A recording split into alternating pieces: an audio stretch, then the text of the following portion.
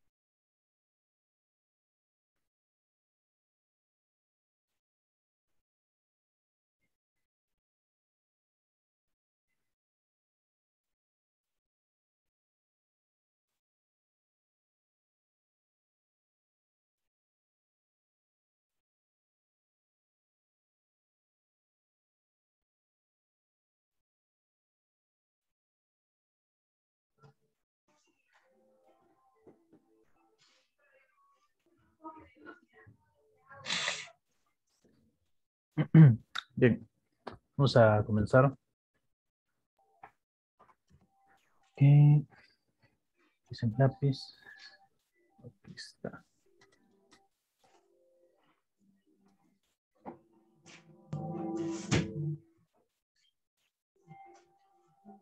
Permítanme que tenemos aquí. Ahora sí. Hoy es 20 de octubre. Y pues nos encontramos estudiando introducción a las demostraciones.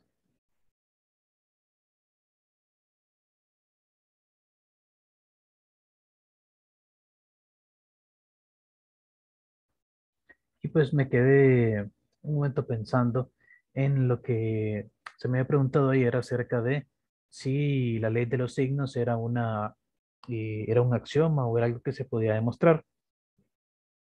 Y pues es interesante porque algunas veces el problema radica simplemente en cómo nosotros planteamos eh, los enunciados o las proposiciones o lo que queremos demostrar.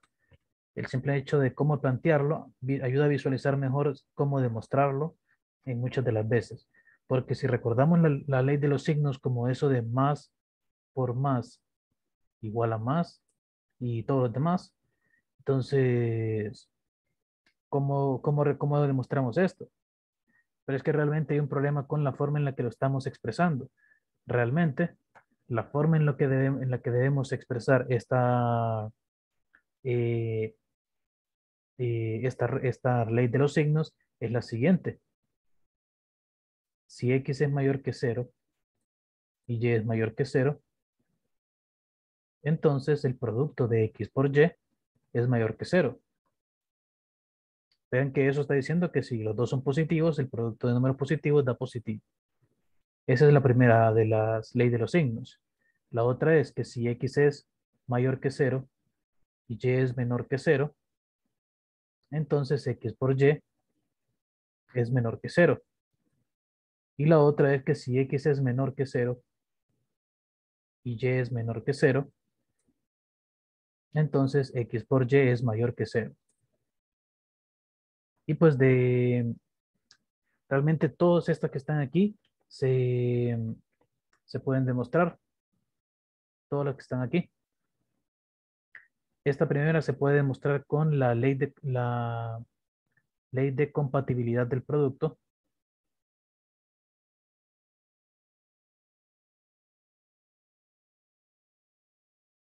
Que aparece en el apéndice en el apéndice 1 y de ahí de hecho, plantea una versión de la, ley de, de la ley de compatibilidad del producto en el ejercicio 15, con el cual considero yo que se pueden demostrar estos dos enunciados, el ejercicio 15 del apéndice 1.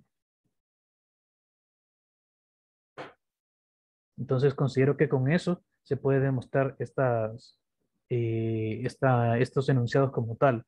Así que prácticamente eso responde la pregunta que la ley de los signos es algo que se puede demostrar, solamente había que plantearlo de forma que fuese demostrable, no solamente como el más por más, más por menos y así. Pero bueno, esa fue la conclusión a la que llegué. Bien.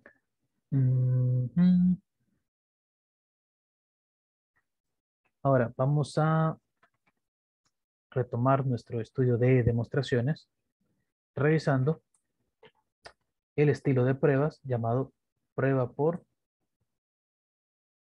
o demostración por contraposición.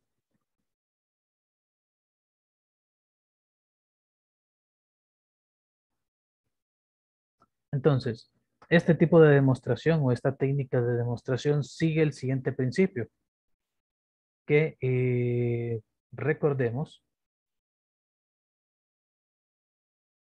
que P implica Q.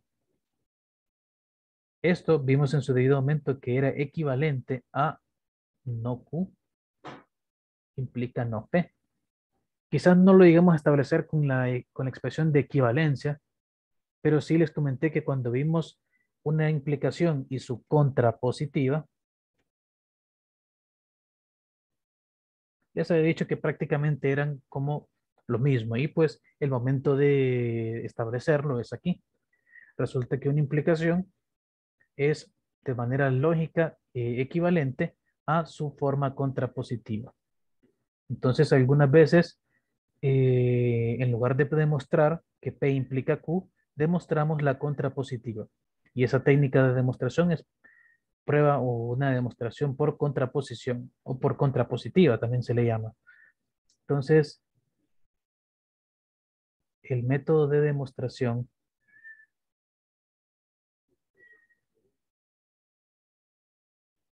por contraposición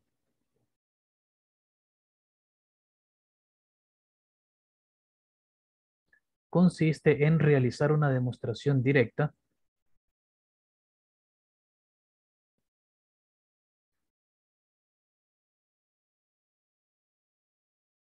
una demostración directa de la contrapositiva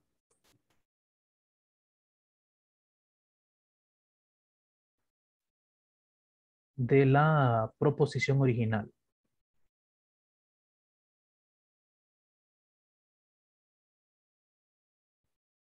Entonces, como no se demuestra la original,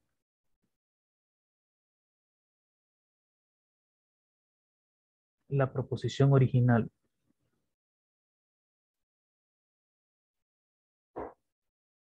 Directamente,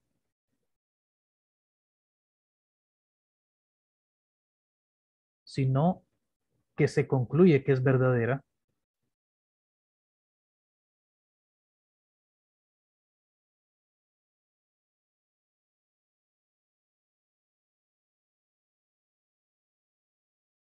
Entonces, por eso, este método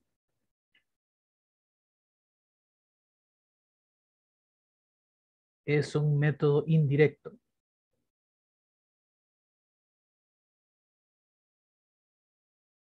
Prácticamente todo método de demostración en el cual nosotros no tengamos que, o que no demostremos de forma directa la proposición, sino que demostremos otra cosa, y a partir de esa otra cosa nosotros impliquemos la velocidad de la proposición original, pues es un método de demostración indirecto. Y eh, como todo, eh, o mejor dicho, como, como método de contraposición, consiste básicamente en siempre realizar una demostración directa, pero no de lo original, sino de la contrapositiva. Y por esta equivalencia se concluye que si demostramos la contrapositiva, la original va a ser verdadera. Poner este original. Entonces, ese es el, método como tal. Ahora vamos a ponerlo en práctica. Vamos a ver. Mm.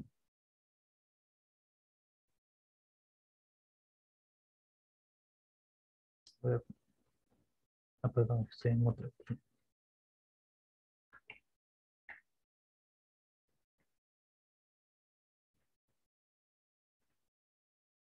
Ok, entonces,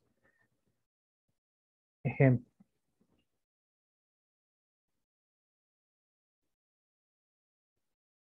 Demuestre que Demuestre que eh, si n es un entero, es un entero,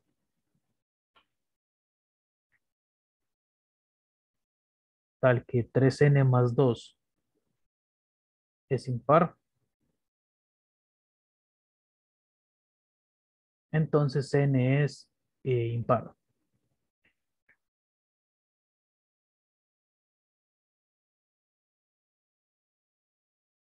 Ok, ve que aquí, mm, a diferencia de como lo estuvimos haciendo ayer, no basta o no es correcto que nosotros hagamos algo como esto. Voy a hacerlo solo para mencionar.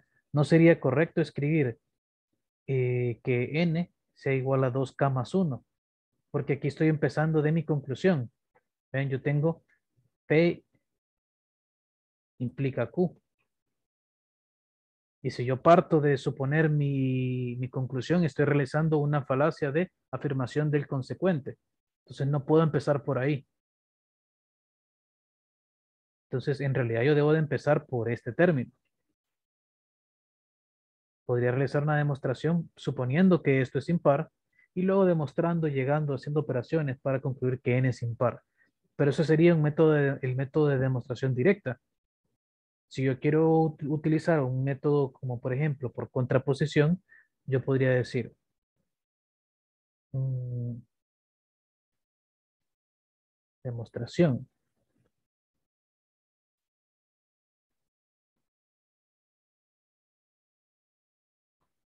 Y en la demostración vamos a decir que demostraremos. Que um, demostraremos que si n eh, no es impar o es un entero.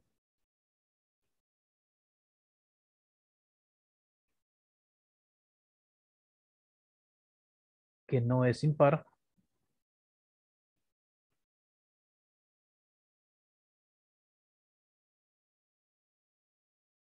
Entonces, 3n más 2 no es impar.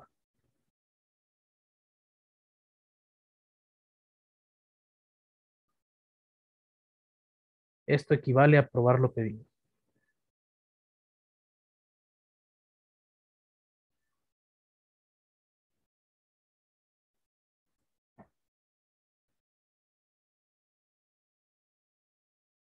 En otras palabras, estamos estableciendo que lo que vamos a realizar es una demostración por contraposición o por contrapositiva.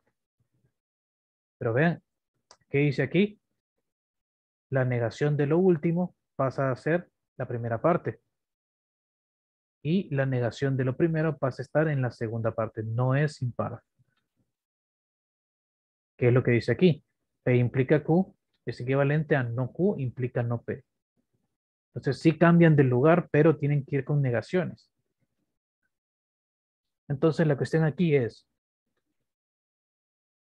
si n no es impar, entonces n debe ser par.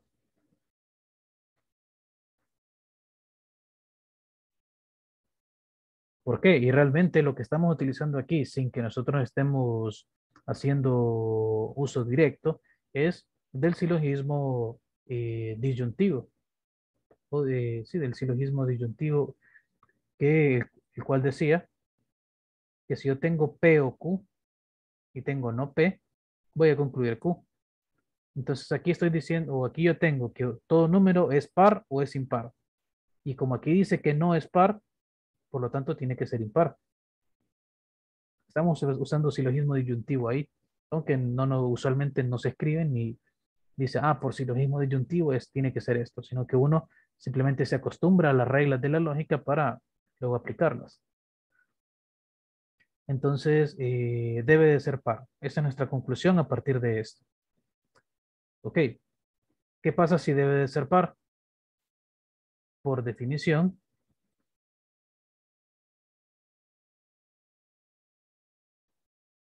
existe un entero K que el nombre puede ser cualquiera en realidad, podemos ponerle Q para variar. Existe un entero Q tal que eh, n es igual a 2 por q. Luego,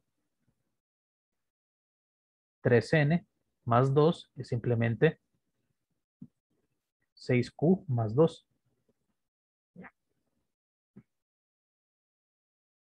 El cual podemos eh, sacar el factor común 2 y escribir 3q más 1. Tenemos esta igualdad. Y como 3q más 1 es un entero,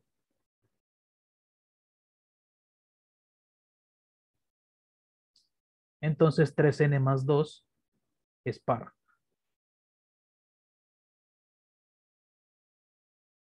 Por lo tanto, no es impar. Y ahí está, terminado. Porque partimos de que partimos de si n no es impar y nuestra conclusión es que 3n más 2 no es impar. Eso es lo que dijimos que íbamos a demostrar que equivalía a lo que nos pedía. Y ahí está. Una demostración por contraposición. En algunos casos resulta ser mucho más cómodo realizar una demostración por contraposición o por contrapositiva por el simple hecho de que a veces uno se enreda mucho en quererlo demostrar directo y resulta que al establecer la contrapositiva sale mucho más fácil. Y vamos a ver, quiero ver si el otro ejemplo es el que yo creo. No, no el que yo creo, pero este es un claro ejemplo de lo que les digo. Mm, a ver, este sería el ejemplo 2.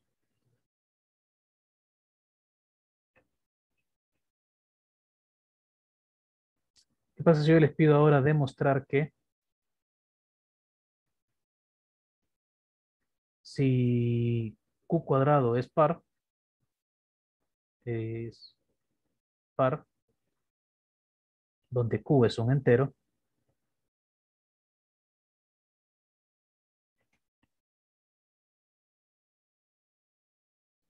entonces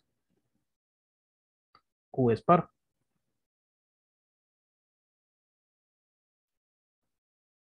Aunque déjenme revisar una cosa. Sí.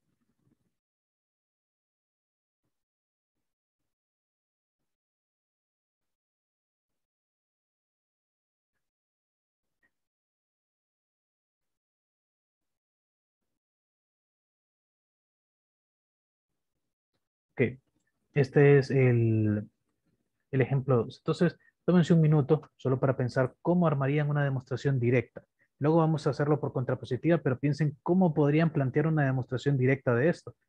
Porque tienen que partir de que Q cuadrado es par y llegar a que Q tiene que ser par, sí o sí. Entonces solo piénselo un minuto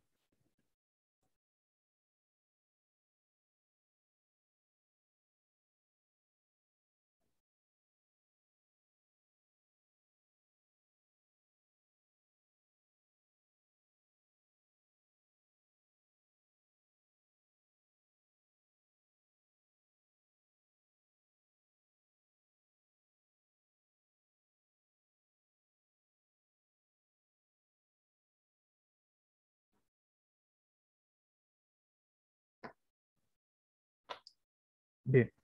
Entonces, si nosotros planteásemos esto, tendríamos de forma directa, tendríamos que empezar algo así. Si q cuadrado es par, entonces existe un entero k en el cual q cuadrado se iguala a 2 por k. Y de ahí que no podemos sacar raíz cuadrada porque no tendríamos garantía de que nos quedaría un 2 por algo y basado solamente en lo que tenemos, porque otra cosa es empezar a utilizar cosas más avanzadas como divisibilidad, que ya vamos a llegar a ello en unos días, con el cual sí podríamos avanzar, pero con lo que tenemos hasta ahora, ¿cómo podríamos demostrar ahora que el Q tiene que ser par? Ya sería pues prácticamente... Mm, bueno, sí hay opciones, de hecho se me acaba de ocurrir una. Restarle uno en ambos lados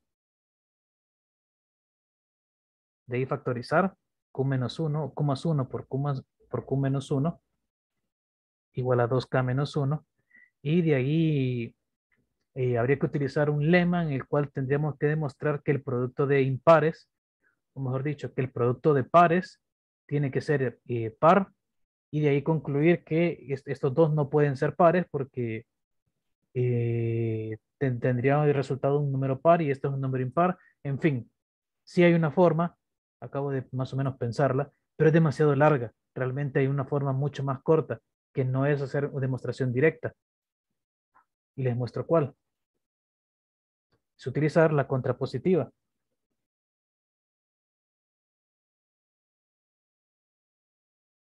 Y pues simplemente demostraremos que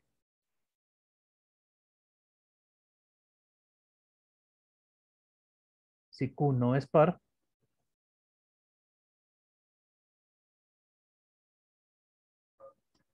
entonces eh, Q cuadrado no es par. Donde Q aquí es un entero. Siendo Q un entero. Entonces, vamos a demostrarlo así por contrapositiva, a ver qué tan fácil sale, a ver si era más fácil de lo que estaba imaginándome yo y les puse aquí. Entonces, si Q no es par, entonces es impar. La misma conclusión de antes, solo que al revés. Entonces, debe ser impar. Luego, por definición,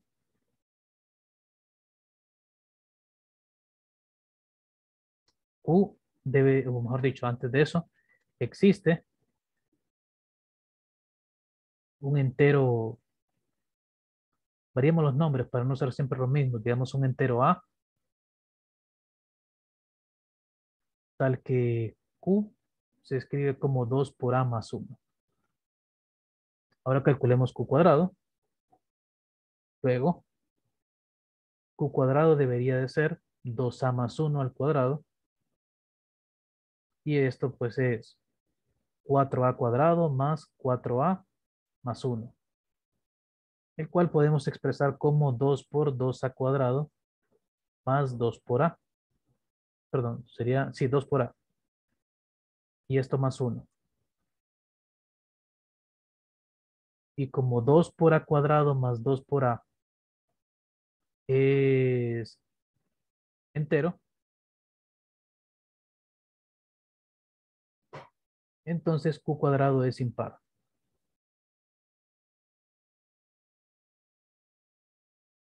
Por tanto, o por lo tanto, no es par. Y ahí está. Y por cierto, y olvidé nuestro símbolo de demostración terminada.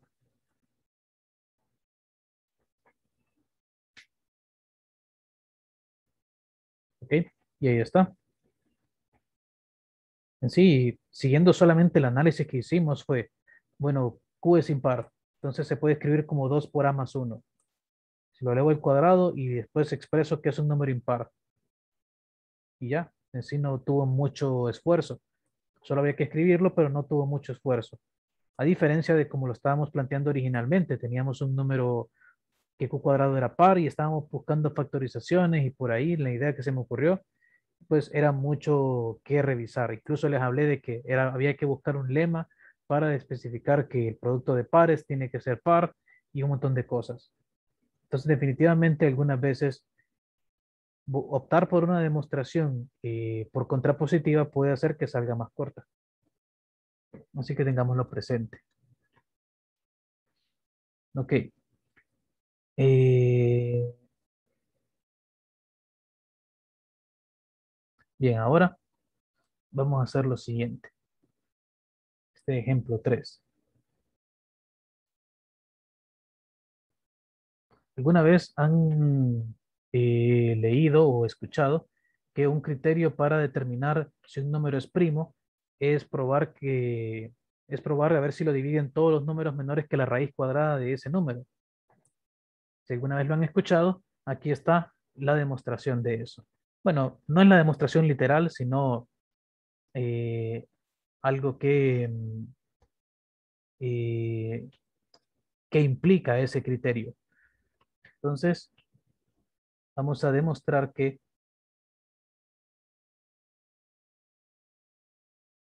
si n es igual a a por b, donde a y b son enteros positivos,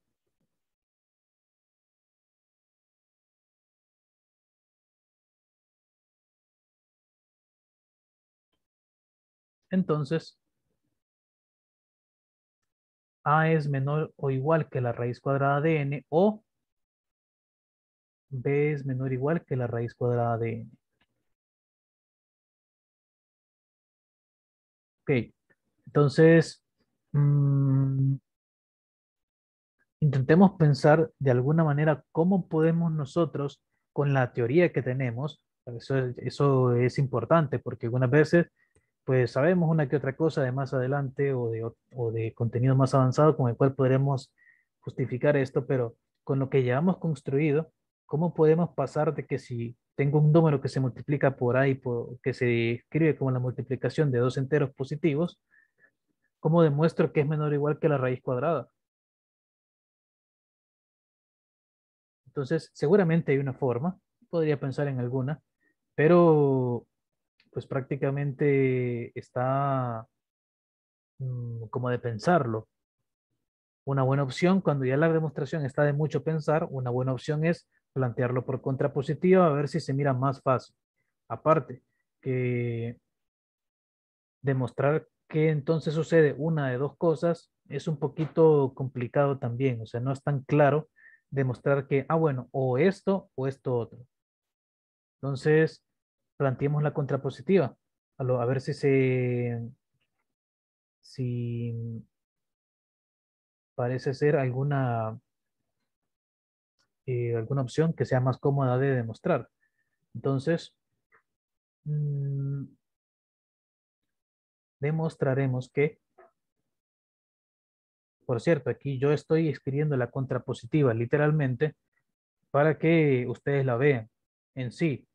Eh, para una demostración fuera de lo que es el curso, en sí, basta esta demostración y luego en este espacio, luego de, concluir que no es par, entonces de solamente escribir, eh, lo cual es lo que queríamos, o que por contrapositiva es, o mejor dicho, vamos a ver, simplemente quiero pensarlo. Eh, lo cual es lo pedido por contrapositiva, algo por el estilo. Simplemente mencionar la parte de que estamos utilizando la contrapositiva, algo breve. Pero en sí, esta primera parte que en la que les pongo demostraremos que, y pongo todo lo opuesto, si, si no se cumple esto, ahora vamos a poner en práctica la ley de De Morgan. Yo tengo que negar esta disyunción de aquí. Entonces, ¿cómo deniego una disyunción? con una conjunción y con ambos términos negados. Entonces la negación de esto, que A es menor o igual que raíz de n, sería que A es mayor estrictamente que raíz de n y B es mayor estrictamente que raíz de n. Demostraremos que si esto, entonces n no puede ser igual a A por B siendo A y B números enteros. Enteros positivos.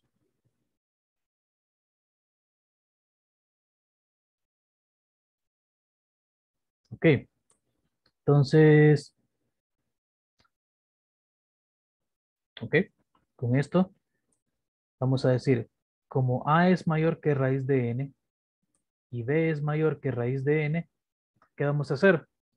vamos a utilizar una de las propiedades o teoremas, eh, bueno, en sí es, eh, es uno de los axiomas de números reales que hay en el apéndice. Como, de como estos son números positivos, yo puedo multiplicar las desigualdades. Entonces,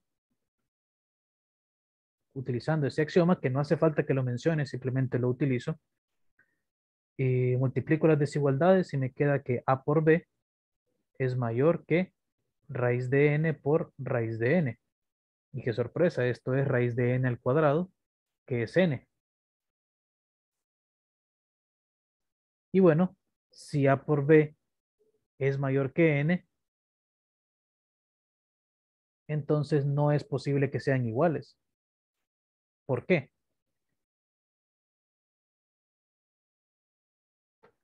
Y vamos a ver si leyeron, los, si leyeron el apéndice. Ahorita quiero que alguien me diga por qué no pueden ser iguales, justificado en un axioma o, o teorema del apéndice 1.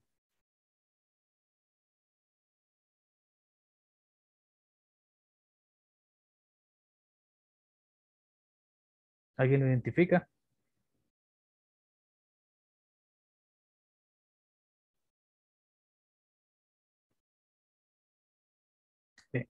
No hay problema, se los digo. Se llama ley de tricotomía. Dice que si yo tengo dos números, esos números pueden ser una de tres.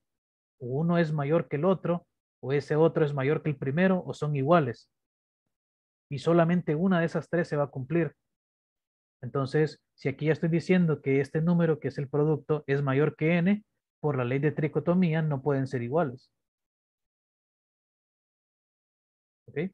Y ahí está, para que vean que estamos utilizando realmente las reglas que están ahí, que no me las estoy sacando yo de otro, de otro libro o que no estoy suponiendo cosas que no hemos visto. Estoy utilizando específicamente lo que está ahí. Entonces, por la ley de tricotomía está esto. Y como les digo, no hace falta justificarlo diciéndolo como tal, pero sí que sepamos de dónde está cada cosa. ¿Ok? Mm. A ver, la ley de compatibilidad multiplicativa podría utilizarse, o de hecho se utiliza en esta primera parte, en la que multiplicamos las dos eh, las dos desigualdades. Podría utilizarse algo parecido, pero mm, no exactamente para concluir esto último, porque la ley de compatibilidad no establece nada acerca de una igualdad.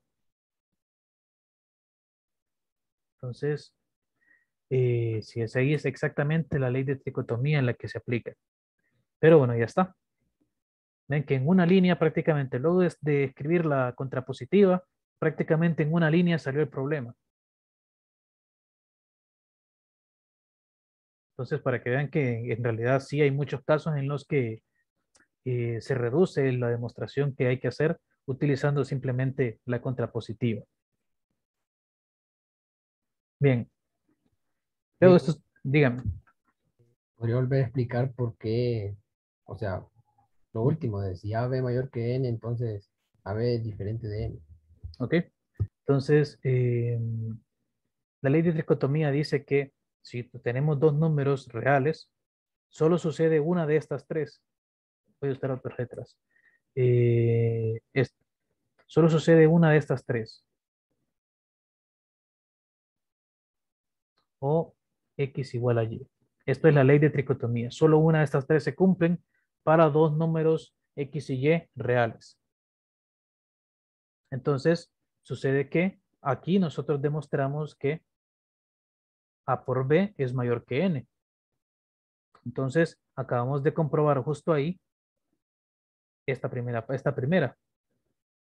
Así que automáticamente por la ley de silogismo disyuntivo, por la regla del silogismo disyuntivo, nosotros tenemos que no se van a cumplir las otras de aquí. Bueno, no es tanto por la, la regla del silogismo disyuntivo, simplemente es que el mismo, la misma ley de tricotomía me dice que solo una de estas tres se cumple. Y aquí acabo de comprobar que, perdón, aquí no era Y, era N. Solo una de estas tres se cumple y aquí arriba demostré que era esta. Así que automáticamente esta no se cumple y esta tampoco. Y la negación de esto es esta de aquí. Sería A por B distinto de N. Entonces esa es la razón. Gracias, ¿Listo? Bueno, entonces eh, vamos a usar la última parte de la clase de hoy para mostrarles dos tipos de demostración que no son técnicas como tal, sino que son tipos especiales. Entonces, esas demostraciones se llaman eh, demostraciones vacías.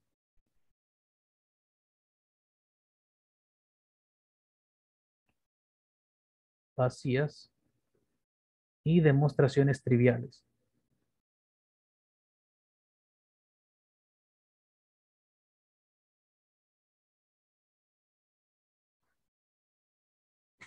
Entonces, las demostraciones vacías consisten en el siguiente principio.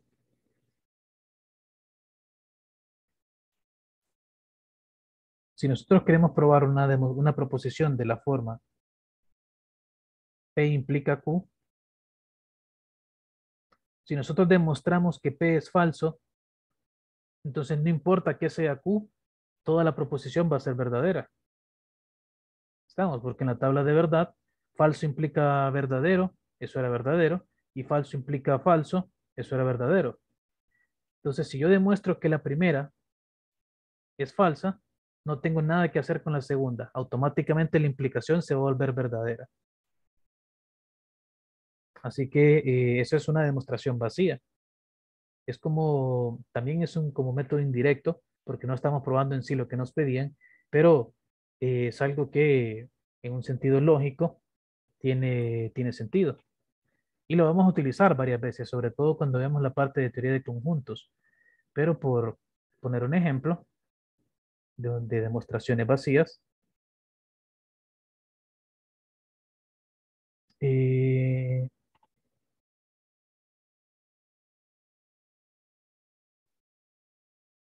suponga que si n es mayor que 1, entonces n cuadrado es mayor que n.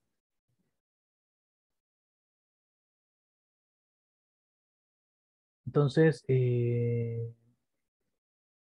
y a esto le vamos a llamar P sub n. Prácticamente le pide suponer que P sub n es cierta. Entonces aquí lo que le pide a ustedes, demuestre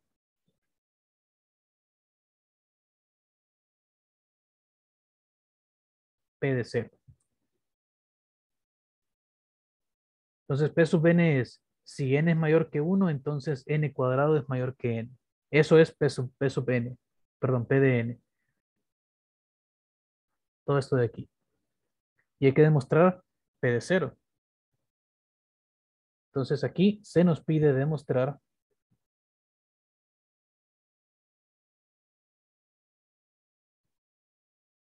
que si 0 es mayor que 1, entonces 0 cuadrado es mayor que 0. Entonces cualquiera podría pensar, no, pero eso no es cierto, eso no se puede demostrar, eso no está bien, no está bien escrito, porque esto de aquí no se cumple. 0 cuadrado no es mayor que 0. Y ahí es donde le voy a decir yo, mm, está en algo, en un razonamiento incorrecto.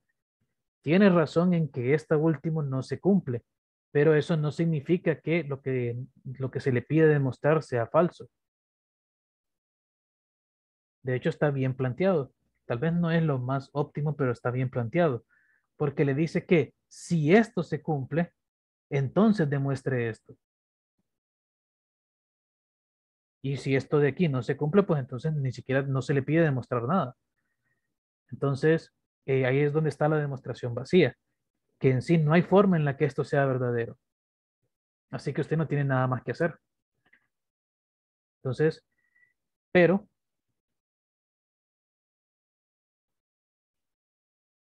como 0 mayor que 1 es falso,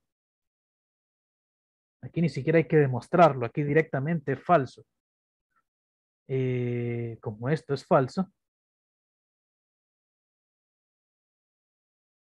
entonces P de 0 se cumple. ¿Y cuál es la razón? Es una demostración vacía. La implicación parte de una premisa o de una hipótesis falsa, así que todo lo que vaya con una hipótesis falsa va a ser verdadero. Porque en sí nunca va a existir el que nunca se va nunca va a suceder el criterio necesario para que ocurra lo último. Así que aunque esto sea falso, realmente no nos interesa si era falso o no, Si, la, si desde un principio la, la hipótesis no se puede cumplir, aquí podemos colocar lo que se nos dé la gana y siempre va a ser verdadero porque no se va a cumplir esto. Entonces es como, eh, es como una pared o algo, una restricción aquí. Cuando esto se cumpla va a ocurrir esto de aquí. Ah, bueno, pero esto nunca se va a cumplir. Pues entonces esto tampoco. Pero eso no implica de que lo que se la frase como tal sea verdadera. Entonces, eh, es prácticamente la misma discusión de cuando hablamos de que falso implica verdadero, que esto era verdadero. Es la misma discusión, solo que ahora aplicado a demostraciones. Entonces, y de hecho, más más allá aún, falso implica falso, también resulta ser algo verdadero. Entonces, ese es el principio en el que radica aquí. Si, esta, y, si la, y la hipótesis es verdadera, no importa que sea lo demás, va a ser verdadero. Si la hipótesis es falsa. Entonces, ese es el tipo de demostración vacía. Y para ilustrarlo con otro ejemplo,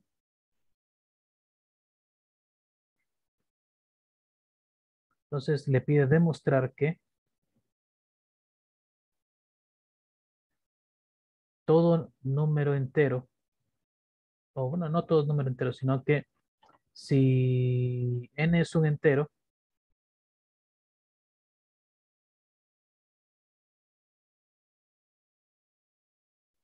tal que 10 es menor o igual que n, menor o igual que 15.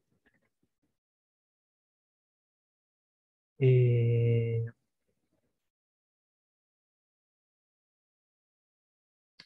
entonces demuestre que si n es un entero tal que esto y es un cuadrado perfecto,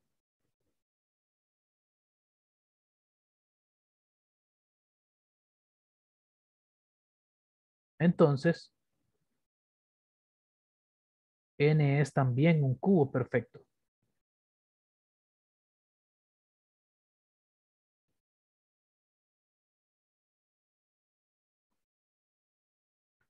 Y con cubo perfecto es la misma, la misma analogía. Si un cuadrado perfecto es un número que se puede escribir como otro entero al cuadrado, este es un cuadrado perfecto, un cubo perfecto sería que se puede escribir como un número a la 3. Ejemplo de un cubo perfecto, 1. Se puede escribir como 1 a la 3. Ejemplo de cubo perfecto, 8. Se puede escribir como 2 a la 3. Entonces aquí, está, aquí nos está pidiendo demostrar que si un, n es un número, un cuadrado perfecto entre 10 y 15, también va a ser un cubo perfecto. Entonces, antes de ponerse a, a ver cómo probar que es, un, como, que es un cubo perfecto, usted tiene que analizar si esto se va a cumplir. Si esto nunca se cumple, ni siquiera tiene que demostrar nada. Simplemente ya está. Demostración. Entonces, notemos que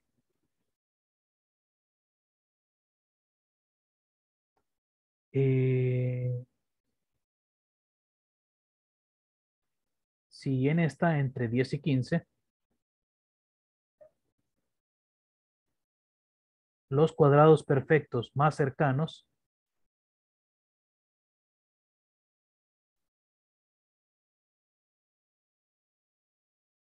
son 9, que se puede escribir como 3 al cuadrado, y 16, que se puede escribir como 4 al cuadrado.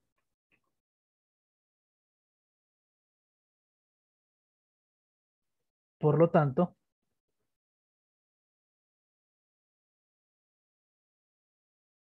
eh, n no puede ser un cuadrado perfecto.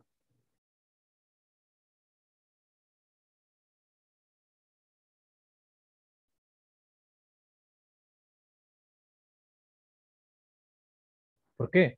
Porque eh, básicamente eh, tenemos que un número entre 10 y 15 está entre 3 al cuadrado y 4 al cuadrado. Y si para hacer un cuadrado perfecto tiene que ser un entero al cuadrado, entonces ¿qué enteros hay en medio? Entonces, eh, básicamente no puede ser un cuadrado perfecto. No hay ningún entero entre 3 y 4 que pueda darle un valor entre 10 y 15 al elevarlo al cuadrado. Así que no es un cuadrado perfecto. Y como aquí hay una conjunción, tienen que cumplirse ambas. Y pues no, entonces como nuestra hipótesis de la, del, del problema o de lo que se nos pide demostrar es falso, entonces la conclusión sobra, se va a cumplir. Por lo tanto, eh, vamos a ver, sería eh, la proposición se cumple.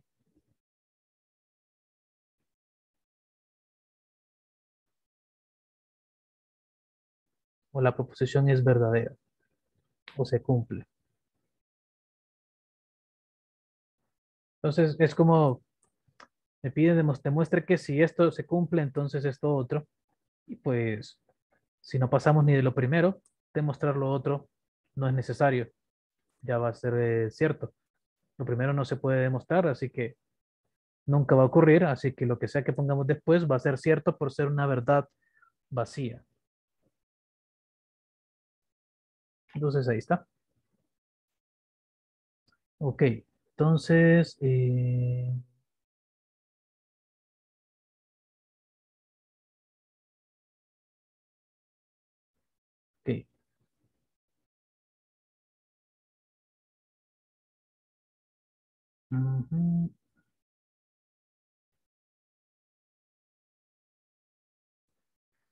Bien. Eh, ahora para las demostraciones triviales, que es lo último.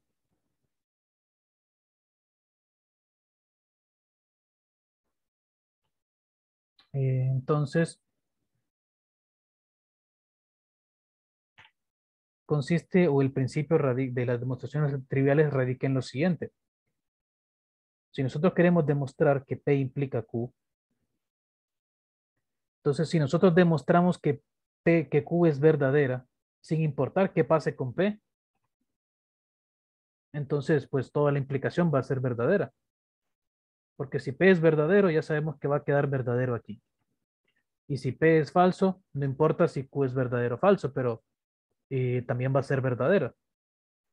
Así que básicamente si yo logro comprobar que Q es verdadera sin necesidad de partir de P, entonces tengo una que esta implicación eh, está dada de forma trivial. Entonces, para ilustrarlo mejor veamos este ejemplo, que queda mucho más claro así. Entonces, sea P de N, la expresión, si eh, A es mayor o igual que B, donde A y B son números enteros positivos, son enteros positivos, entonces A la N es mayor o igual que D a la N. ¿Ok? Eso es P de N. Y se nos pide demostrar que o demostrar P de 0. ¿Ok? Entonces,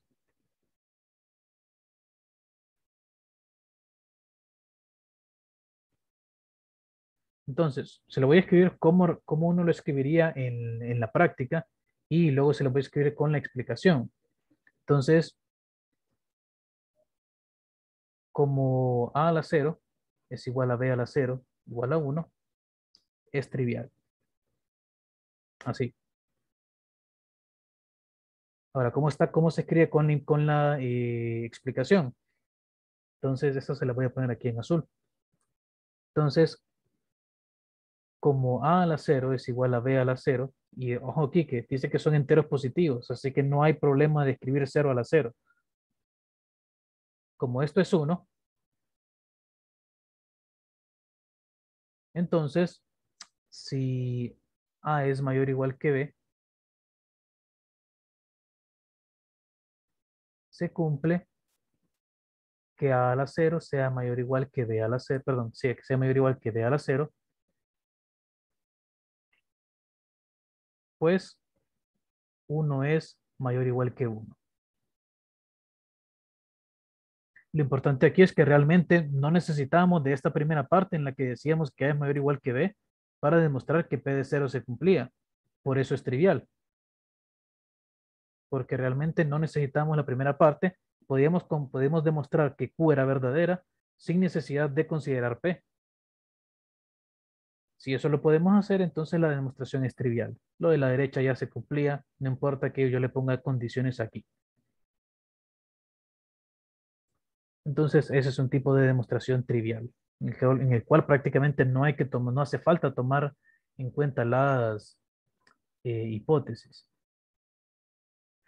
Ok. Mm,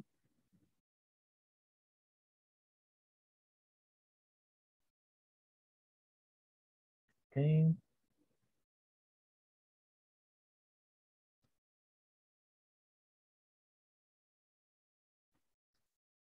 Bien, entonces, y para que vayan practicando, porque al final de cuentas, si uno no hace, no, no hace, pues uno no desarrolla. Tenemos la siguiente definición, que es la definición número 2, que es la de número racional. Y número irracional.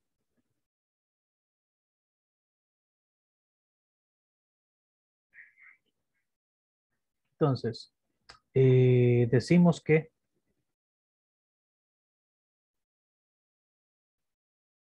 R es racional si existen enteros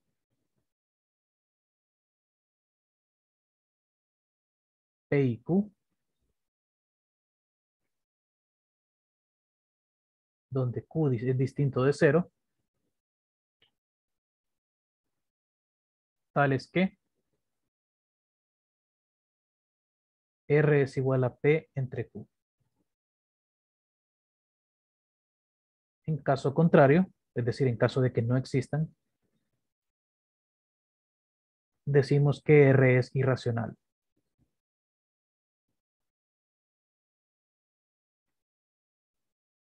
Entonces aquí yo les voy a dejar que ustedes demuestren eh, tanto de forma, o ya sea de forma directa o por contrapositiva, si lo desean, ejercicio, que se ya es para ustedes, demostrar que si R y S son racionales,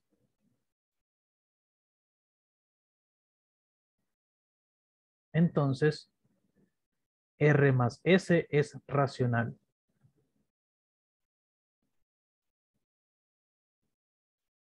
Entonces, ahí les queda ese ejercicio. Lo pueden pensar eh, durante el día, lo pueden resolver. De hecho, sería recomendable que lo resolvieran porque este no lo vamos a hacer, eh, no lo vamos a hacer el día de mañana. Y pues, si ustedes quieren probar qué también sienten que hicieron el ejercicio, me pueden mandar su demostración y yo les digo, está bien, falta esta parte, o les puedo mandar correcciones de lo que sea. Entonces, así está. No sé si hay alguna pregunta. Lick en el, en el ejercicio anterior a este que hizo. ¿Sí? Eh, no sé si podría darle por arriba. Sí. No, ese no, el anterior a Ah, este. el anterior, este. Ajá, en ese dice que la proposición es verdadera, entonces significa que hay un número n entre 10 y 15 que es, ver, que, que es igual a b al cubo. No, Eso es lo que se refiere. O, no, simplemente es lo que dice es que si hay un número entre 10 y 15 que sea cuadrado perfecto, también tiene que ser un cubo perfecto. Y pues realmente no importaba que, hubiese puesto aquí, puse, puse haber puesto potencia sexta perfecta y igual iba a ser verdadero, porque como la hipótesis es falsa, como no hay ningún cuadrado perfecto, yo aquí puedo haber puesto lo que sea.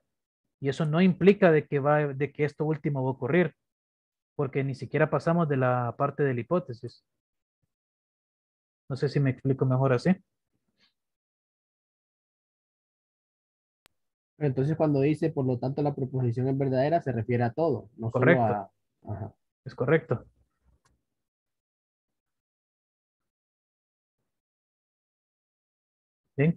No sé si hay alguna otra pregunta.